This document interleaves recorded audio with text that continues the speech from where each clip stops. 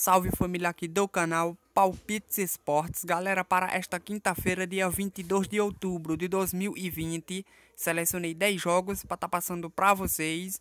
Mas antes de partir com os palpites, vou estar mandando um salve para a galera que comentou no vídeo anterior. Primeiro salve vai para Tiago de Guida, na Bahia, tamo junto. Salve para o Jaziel Júnior, tamo junto.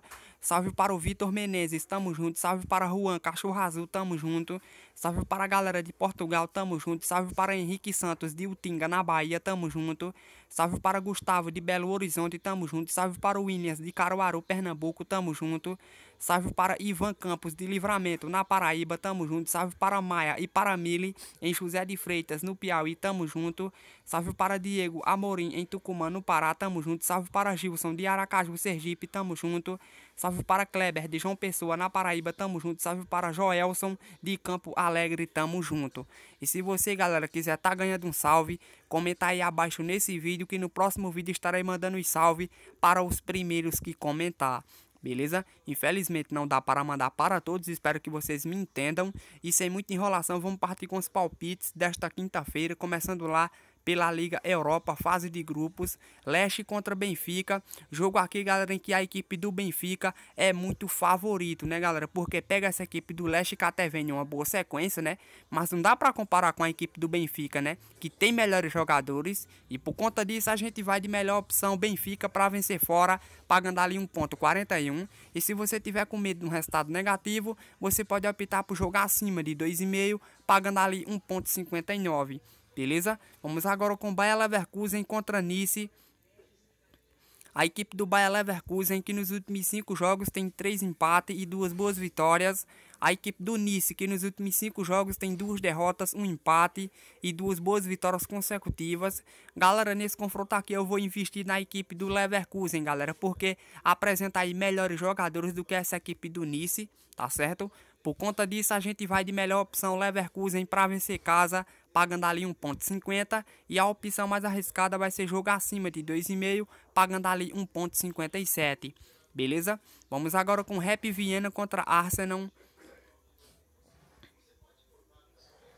A equipe do Rap Viena, que nos últimos 5 jogos tem uma derrota, um empate e 3 vitórias seguidas. A equipe do Arsenal, que nos últimos cinco jogos tem um empate, duas derrotas e duas boas vitórias. Nesse confronto não temos muita coisa o que falar, galera. Tá certo que a equipe do Rap Viena até vem numa boa sequência, né? Vem de três vitórias seguidas, mas não dá para comparar com a equipe do Arsenal, galera, que é muito superior tecnicamente e mesmo não estando num bom momento, creio eu que ele deve vencer esse confronto.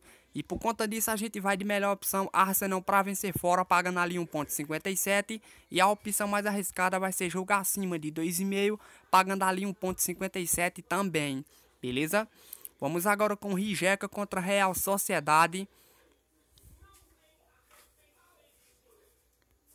A equipe do Rijeka, que nos últimos cinco jogos tem um empate e quatro vitórias consecutivas.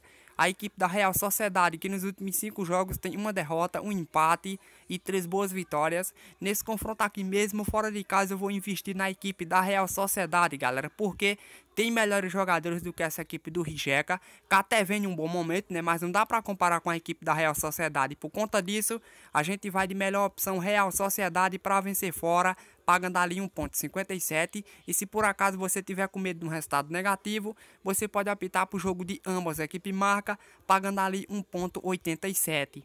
Beleza? Vamos agora com Braga contra a AEK. A equipe do Braga, que nos últimos cinco jogos tem duas derrotas e três boas vitórias. A equipe do AEK, que nos últimos cinco jogos tem três vitórias, um empate, apenas uma derrota. Nesse confronto, galera, eu vou investir na equipe do Braga, porque apresenta melhores jogadores do que essa equipe do AEK beleza? E por conta disso a gente vai de melhor opção, Braga para vencer jogando casa, pagando ali 1.67 e a opção mais arriscada vai ser jogar abaixo de 2,5, pagando ali 1.69, já que a equipe do Braga dificilmente faz jogos com uma média de gols alta, beleza? Vamos agora com Hoffenheim contra Estrela Vermelha. A equipe do Hoffenheim que nos últimos 5 jogos tem um empate, duas boas vitórias e duas derrotas consecutivas. A equipe do Estrela Vermelha, que nos últimos 5 jogos tem 4 vitórias, apenas um empate, vem numa boa sequência. Aqui, galera, nesse confronto eu vou investir na equipe do Hoffenheim. Tá certo que não vem num bom momento, né? Já vem de duas derrotas seguidas. A equipe do Estrela Vermelha até vem em uma boa fase, mas não dá para comparar com a equipe do Hoffenheim, que é muito superior tecnicamente. E acredito eu que a equipe do Hoffenheim deve vencer esse confronto aí. Joga lá no seu estádio, onde tem feito bons jogos. Como vocês observam, os últimos cinco jogos da equipe do Hoffenheim jogando em casa perdeu apenas para o Nuremberg e perdeu para o Borussia Dortmund, galera. Ou seja, é um time muito forte quando joga em casa e por conta disso a gente vai de melhor opção Hoffenheim para vencer casa, pagando ali 1.48 e a opção mais arriscada vai ser jogo de ambas. A equipe marca nesse momento pagando ali 1.67. Beleza? Vamos agora com Leicester City contra Zória. Jogo aqui em que a gente não tem muita coisa o que falar não, galera. Tá certo que o Leicester City não vem num bom momento, né? Vem oscilando muito. Tem três derrotas e duas boas vitórias. A equipe do Zória que nos últimos cinco jogos tem três empates, uma derrota, apenas uma boa vitória. A equipe do Leicester City é muito superior tecnicamente, apresenta aí um melhor time. Só que ele tá pagando muito pouco, galera. Então a gente vai fazer o que aqui? A gente vai ver quanto quanto tá pagando acima de 2,5, né? O acima de 2,5 tá pagando ali 1.67, beleza? E vai ser a melhor opção, galera. A melhor opção vai ser essa. Então a gente vai de melhor opção jogar acima de 2,5, pagando ali 1.67. E a opção mais arriscada vai ser Leicester City para vencer no primeiro tempo, pagando ali 1.69. Beleza? Vamos agora com Tottenham contra Las Quilins. A equipe do Tottenham, galera, que eu provavelmente não vou me arriscar nesse time, galera, porque o Tottenham é um time pipoqueiro, tem costume de fazer dois ou três gols no primeiro tempo e, e se esquece de jogar, beleza? A prova disso foi contra o West Ham, galera, me decepcionou demais esse time do Tottenham, né? Colocou 3 a 0 no primeiro tempo e no segundo relaxou e o time foi lá e conseguiu o um empate, né? Ou seja, um time que não dá para confiar. E se vocês observarem, os últimos cinco jogos do Tottenham é um time, é um time aí que dificilmente faz jogos com uma média de gols baixa, viu, galera? E a melhor opção aqui vai ser jogar acima de 2,5 Nesse momento está pagando 1.43, como vocês observam. E a opção mais arriscada, quem quiser se arriscar, vai de Tottenham para vencer no primeiro tempo, pagando ali 1.67, beleza?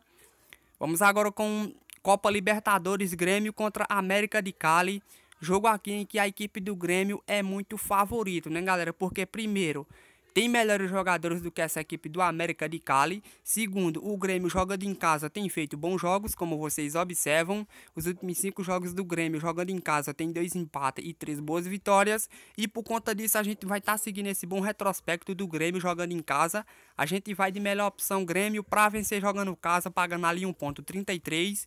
E a opção mais arriscada, galera, vai ser jogar abaixo de 2,5. Nesse momento pagando 1.95 beleza? E para finalizar, lá no campeonato sueco, lá da segunda divisão, João Comping contra Gás, a equipe do João Comping, galera, que nos últimos cinco jogos vem aí, galera, de duas derrotas, um empate e duas boas vitórias. A equipe do Gás, que nos últimos cinco jogos tem três vitórias, um empate, apenas uma derrota na classificação. A equipe do João Copingues vem ocupando a quarta posição e a equipe do Gás vem ocupando a nona posição. Nesse confronto, galera, eu vou investir na equipe do João Coping, galera. Por quê? Tá certo que ele vem oscilando muito, galera, como vocês observam.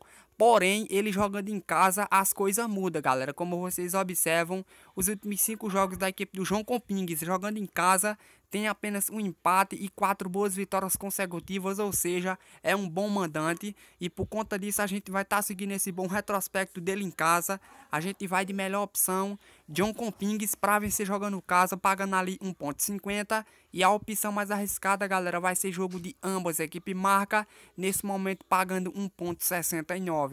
Beleza? Então é isso, galera. O vídeo de hoje foi esse. Espero que vocês tenham gostado. Você que está assistindo o vídeo agora e não é inscrito, se inscreva no canal, beleza? Ative o sininho das notificações. E se gostou do vídeo, deixa o like para fortalecer o canal, beleza? Então é isso. Eu vou ficando por aqui. Fiquei todos com Deus e fui.